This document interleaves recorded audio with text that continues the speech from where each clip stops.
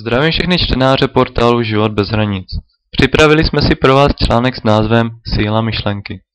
Zajímáte se o rozvoj osobnosti? Chcete poznat více z toho, co se ve vás skrývá za sílu? Článek vám ukáže, jaký jste unikát a co v sobě ukrýváte za diamant.